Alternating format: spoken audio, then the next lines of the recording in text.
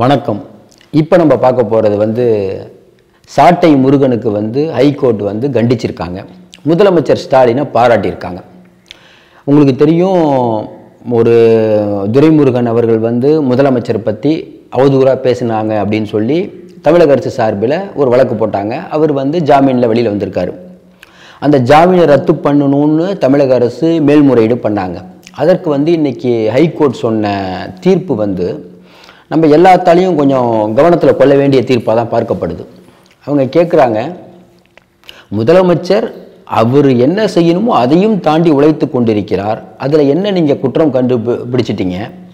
ஒன்று ஒருத்தரை அவர் செய்கிற விஷயத்தை பாராட்டாமல் கூட நீங்கள் இருக்கலாம். ஆனால் விமர்சிப்பது எந்த விதத்தில் நியாயம்? அப்படின்னு கேட்டிருக்காங்க. நம்ம வந்து இதை பார்த்துட்ருக்க நிறைய பேர் வந்து நாம் தமிழர் கட்சியில் இருக்கலாம். இல்லை ஸ்டாலினை பிடிக்காதவங்க இருக்கலாம். பிடிச்சவங்க இருக்கலாம். யார் வேணா இருக்கலாம். எல்லாத்துலேயும் நியாயம்னு ஒன்று இருக்குது. அதாவது வந்து திமுகவும் ஸ்டாலினும் கடந்த காலத்தில் என்ன பண்ணினாங்க இப்போ என்ன பண்ணிகிட்ருக்காங்க இருக்காங்க அப்படிங்கிறதுல மாறுபட்ட கருத்துக்கள் எல்லாத்துக்கும் இருக்குது திமுக நல்லதுன்னு சொல்கிறவங்களும் இருப்பாங்க திமுக மோசம்னு சொல்கிறவங்க இருப்பாங்க. உதயநிதியை கொண்டு வரது ரைட்டுன்னு சொல்கிறதுக்கு ஒரு கூட்டம் தப்புன்னு சொல்கிறதுக்கு ஒரு கூட்டம். இப்படி எல்லா விஷயத்திலையுமே வந்து மாறுபாடுகள் இருக்கும். ஆனால் நீங்கள் பார்த்தீங்கன்னா விமர்சிக்கிறது அப்படின்னு ஒரு முறை இருக்கிறது.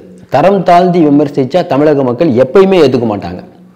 ஏன்னா இந்த துரைமுருகன் அவர்கள் பேசின வீடியோவை பார்த்தீங்கன்னா யாராக இருந்தாலும் இல்லைங்க அவர் பேசினது தவறு தான் அப்படின்னு நம்ம சொல்கிற அளவுக்கு தான் அந்த பேச்சு இருக்குது இன்றைக்கி ஊடகத்தில் வந்து பெருமளவு சீமான் அவர்களும் அவருடைய ஆதரவாளர்களும் நிறைய ஆக்டிவாக இருக்கக்கூடிய நேரத்தில் அவர்களை பற்றி யாராவது ஒருத்தர் பேசினா உடனே அதற்கு கண்டனம் உடனே தெரிவிக்கப்படுது. அது நியாயம்.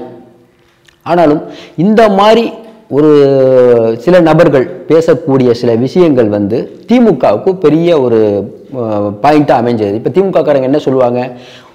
கோர்ட்டே முதலமைச்சரை பாராட்டிருச்சு. அதாவது நீங்கள் வந்து ஸ்டாலினை பற்றி விமர்சிக்க போக ஏன்னா கோர்ட் என்ன சொல்லியிருக்குது மைக்கு கிடைச்சா என்ன வேணால் பேசிடலாமான்னு கோர்ட் கேட்டிருக்காங்க.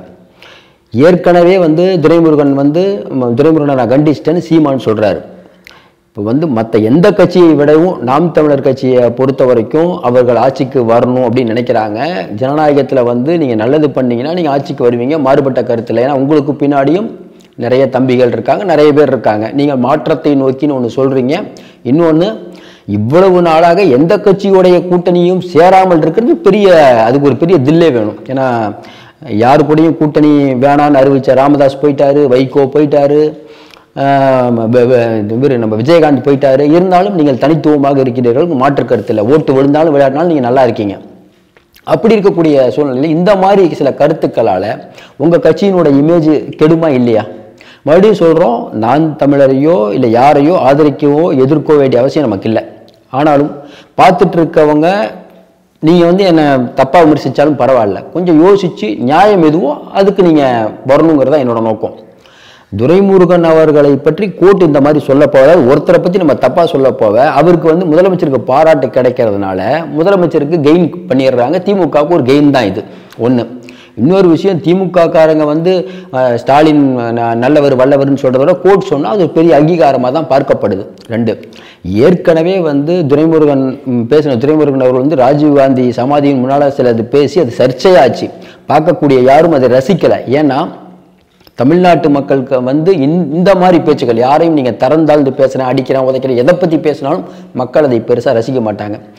இன்னொரு விஷயம் நாம் தமிழரை பற்றி விமர்சிக்கிறாங்கல்ல நீங்கள் பார்த்தீங்கன்னா ரொம்ப காட்டம் விமர்சிக்கிறவங்க யாருன்னு பார்த்தா அவங்க கட்சியிலிருந்து வெளியில் போனவங்க தான் விமர்சிக்கிறாங்க.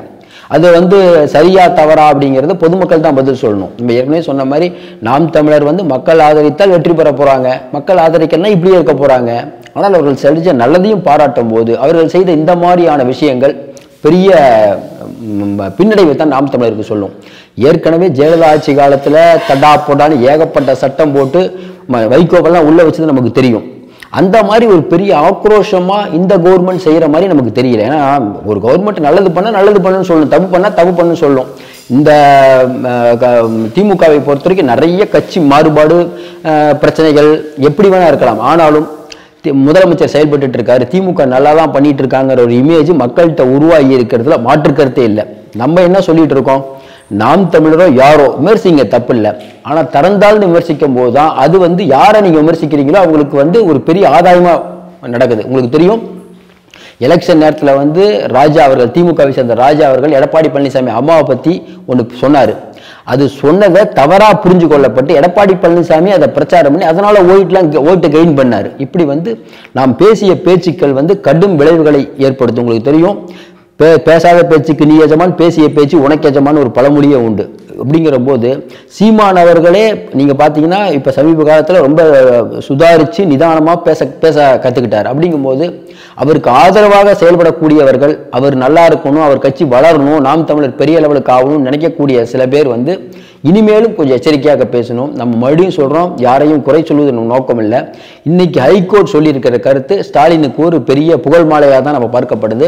ஸ்டாலின் அவர்களை பற்றி சொல்லணும்னா அவர்கள் வந்து செயல்பாடு வந்து தமிழக அளவில் வந்து மக்களால் பெரிதும் வரவேற்கப்பட்டிருக்கிறது. ஏன்னா எதிர்க்கட்சியை அவர் அணுகிற விதமாகட்டும் பாஜகவை அணுகிற விதமாகட்டும் கூட்டணி கட்சியை அவர் அணுகிற விதமாகட்டும் பாட்டாளி மக்கள் கட்சியை அவர் அணுகிற விதமாகட்டும் இந்த வெள்ள சேத பிரச்சனையில் அவர் அணுகிற விதமாகட்டும் இந்த வருமான வரி ஏய்ப்பு செஞ்ச மினிஸ்டர் அவர் அணுகிற விதமாகட்டும் அவர் பேசிய பேச்சுக்கள் ஆகட்டும் இது எல்லாமே பார்த்தீங்கன்னா ஒரு நாகரிகம் ஒரு கண்ணியமாக நடந்துக்கிறாரு அப்படிங்கிற இமேஜ் தமிழக மக்கள்கிட்ட இருக்குது. அப்படி இருக்கக்கூடிய சூழ்நிலையில் அவரை நம்ம கார்னர் பண்ணுறதுக்கு நிறைய விஷயங்கள் இருக்கும்போது இந்த மாதிரி தேவையில்லாமல் தனிப்பட்ட தாக்குதலை நடத்தி அவரை அவருடைய இமேஜ் இன்னும் கூடுறதுக்கு தான் இது வழிவகுது.